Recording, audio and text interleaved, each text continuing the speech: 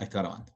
Bien, estamos con radicación, que ya habíamos visto básicamente algo. Entonces la radicación es la operación de extraer raíces de un número. Los radicales o raíces son expresiones matemáticas en las que la raíz enésima de A es igual a B. Y B elevado a N da como resultado A. N, acuérdense que era el índice, el radicando sería como el argumento al que se le aplica la raíz, ¿no es cierto? Enésima. Y B es la raíz propiamente dicha. El resultado se llama raíz, que es lo que nosotros estamos eh, buscando calcular, ¿no? La radicación es la operación contraria a la potenciación. Acá tenemos la raíz y acá tenemos la potenciación, digamos, eh, el exponente enésimo, como acá tiene la raíz enésima. Bien.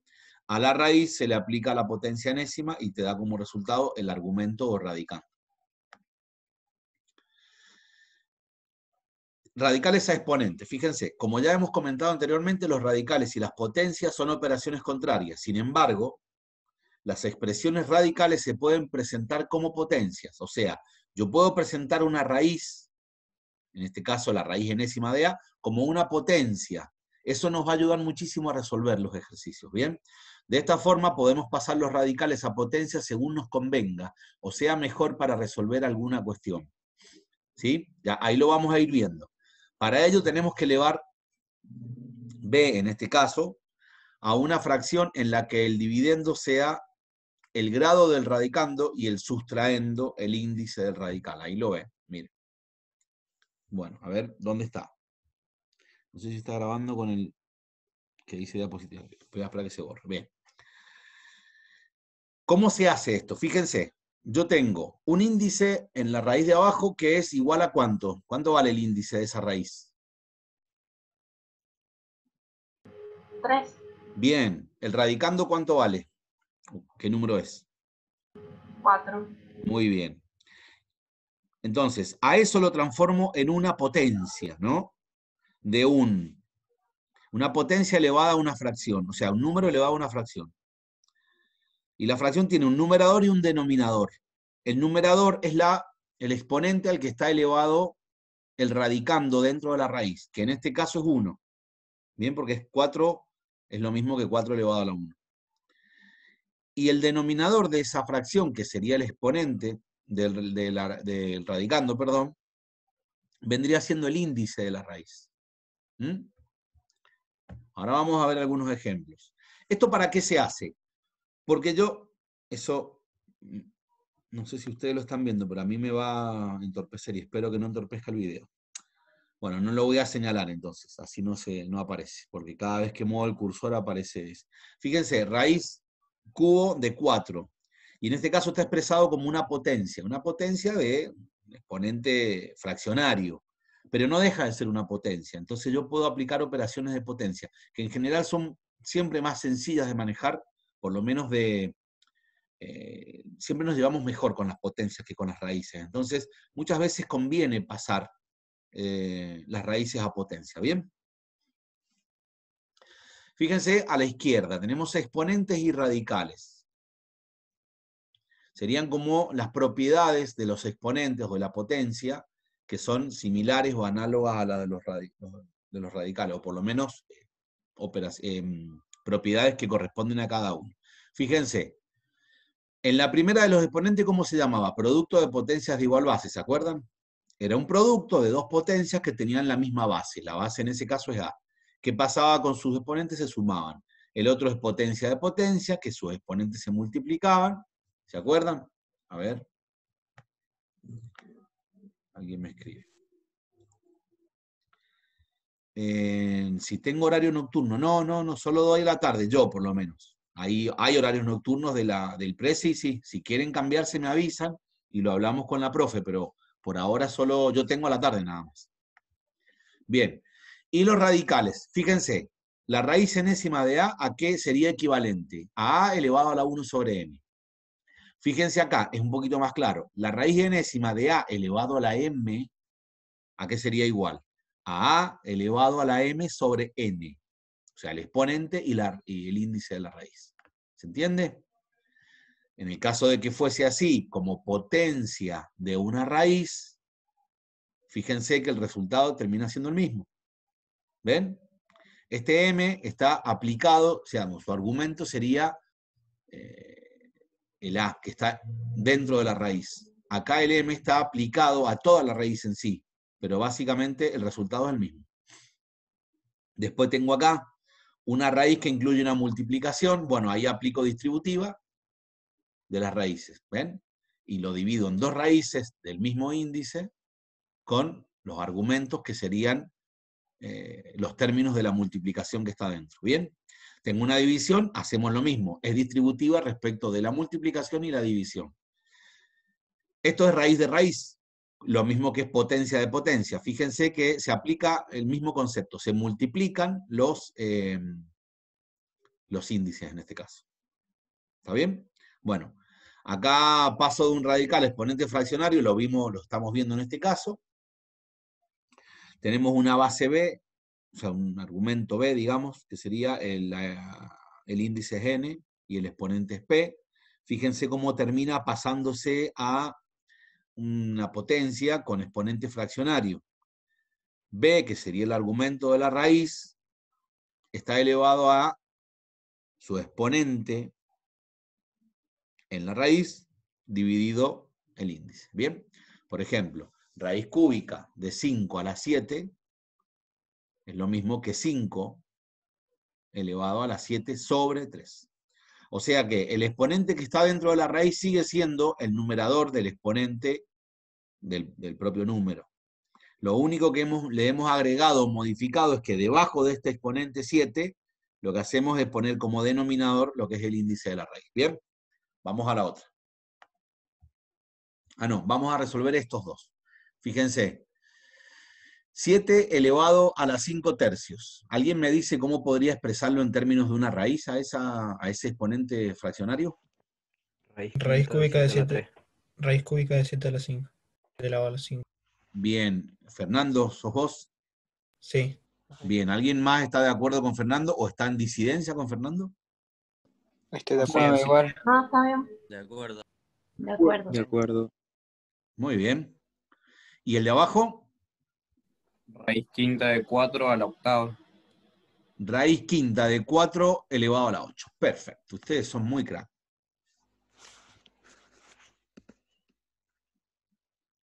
Lo que pasa es que hay un engaño pichanga en el de abajo. No es que esté mal. A ver. Eh, claro, no es que esté mal. No, lo que ha hecho es eh, separar el exponente del 7 a la quinta como la raíz es cúbica, si yo tengo un 7 elevado a la 5, el exponente del número que está dentro de la raíz es más grande que el índice, yo puedo sacar una parte de... Hacer extracción. Sería como eso. Sí, ya lo vamos a ver. Perdón, ahí no, te escuché. Extracción de factores. Muy bien, radical. Extracción de factores, perfecto. Que lo vamos a ver después. Pero bueno, básicamente me interesaba que ustedes tuvieran en claro cómo es eh, el paso de un radical exponente fraccionario. Esa, parte de la extracción lo vamos a ver enseguidita. Fíjense acá, si trabajamos con esta extracción de, perdón, con esta extracción no, con este paso de radical a exponente fraccionario, podemos operar con bases iguales bajo raíces distintas, en ese caso. Todo esto se trata de hacer operaciones algebraicas de forma tal de resolver los ejercicios, digamos. Todas estas propiedades lo que nos tienen que ayudar es a organizar el ejercicio de una forma que me sea más sencillo resolver. No es que esté mal que la raíz exista y que tenga el exponente, el índice y lo que quieran tener. No. ¿Se puede resolver con raíces todo? Sí, por supuesto. ¿Puedo no cambiar nunca exponente fraccionario? Puedo no cambiar nunca si no quiero. Ahora, si me resulta más fácil trabajar con exponentes y no con raíces, yo necesito saber esa opción. Es como decir, bueno, tengo 10 herramientas, un destornillador, un martillo, una pico de oro, una francesa y demás. Bueno, yo puedo no usar la francesa, pero necesito saber cómo se usa. ¿Se entiende? Por si en algún momento me surge la posibilidad de tener que usar una llave similar a la francesa y yo tenga, yo ya sepa usarla. Bien, entonces tener todas estas herramientas en la mano para cuando tengamos que resolver o un ejercicio combinado o una operación del tipo que sea, eh, tengamos la posibilidad de eh, hacerlo de forma más sencilla para nosotros. No todo el mundo aprende de la misma forma y está bien que cada uno eh, tome el camino que le parezca correcto, siempre y cuando se apliquen correctamente las propiedades y se llegue, obviamente, al resultado deseado. Bien, entonces fíjense, tenemos una raíz enésima de x multiplicada una raíz enésima de x. Los índices son distintos. Eh, básicamente los resultados van a ser distintos, las raíces deberían ser distintas, si x es el mismo número. Pero al ponerlo en términos de 1 sobre m y 1 sobre n, los exponentes de esa x, ahí que tenemos producto de potencias de igual base, ¿o no? Entonces lo que debo hacer es eh, sumar esas, eh, esos exponentes. ¿Se acuerdan cómo se resolvía eso? x elevado a la a, supónganse, y x por x elevado a la b, que hacía a más b. Bueno, la suma de dos fracciones, 1 sobre m más 1 sobre n, está simplificada de esa forma. n más m sobre n por m. Después eso se resuelve, no hay problema. Si, aunque lleguemos hasta acá nomás, y esta parte la resolvamos más digamos, más rústicamente, más a mano, más despacio, no hay ningún problema. Yo quiero que entiendan que hasta acá ven que se simplifica. Cuando tengo el mismo argumento sobre el que está operando la raíz, o sí, la raíz con el índice, es el mismo, yo al, convertirlo a exponente fraccionario puedo operar como si fuera producto de potencias de igual base. En este caso es muy simple, yo tengo dos fracciones con el denominador distinto en las dos, lo que hago es sacar un mínimo como un múltiplo, después esto lo divido por esto y lo multiplico por esto, le agrego el signo que sería más entre los dos, esto dividido esto, multiplicado esto, y te da esa cuenta. Bueno, eso lo saben hacer probablemente ustedes, no, no, no, voy, a, no me voy a detener en eso porque es, lo más sencillo. Perdón, básicamente sacar un MCM, digamos. En MCM, claro, mínimo como un múltiplo, exactamente. Perfecto. Sí. Ah, no creí que habías dicho profe algo. Me quedé ahí esperando. Bien, vamos a ver este ejemplo. En otro caso, se los he cortado estos ejercicios para que no aparezcan todos juntos y vayamos viendo de a uno. Porque me interesa más que esto no lo vean primero, que vayan viendo las partes que yo les marco. Fíjense, ¿cómo sería esto? Raíz cúbica de 2 elevado a la 5, ¿no? Por raíz cuadrada de 2 elevado al cubo. Fíjense que acá los índices de las raíces son distintos, 3 y 2. ¿Bien? Entonces, los pongo en términos de eh, exponente fraccionario. 5 dividido 3, y acá 3 dividido 2. Acá los tengo. Entonces, esto es producto de potencia de igual base. La base, ¿cuál es? 2, y las fracciones que se suman son 5 tercios más 3 medios. Saco el mínimo con un múltiplo que es 6, 6 dividido 3 te da 2, 2 por 5, 10, más 6 dividido 2 te da 3, 3 por 3, 9, 10 más 9 sobre 6. Y ahí te da el resultado. No le hemos puesto acá el resultado, pero ¿qué sería? 10 más 9, me quedan 10 minutos. 10 más 9 son 19 sextos. 19 de numerador y 6 de denominador. Esto quedaría igual a una sola raíz. Raíz sexta de 2 elevado a la 19. ¿Bien? Ya vamos a ver después cómo operamos con, cuando tenemos el exponente interno de la raíz más grande que el índice. Vamos a ver cómo termina. Fíjense acá, díganme ustedes cómo son estas dos soluciones. El 1, ¿cómo es?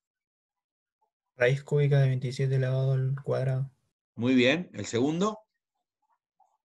Otro. La raíz cuadrada de 9 a la menos 5. ¿Es un menos 5 eso? sí, es un menos 5 sobre 2. a la menos 5. Ahí hay un problemita. ¿Se acuerdan lo que eran los exponentes negativos? Se daría vuelta al 9. O sea, quedaría raíz cuadrada de un noveno a las 5. Eh, muy bien. Muy bien. Tengan cuidado con eso porque el signo menos me indica que ese 9 no va a estar en el numerador, sino va a estar en dónde? En el denominador.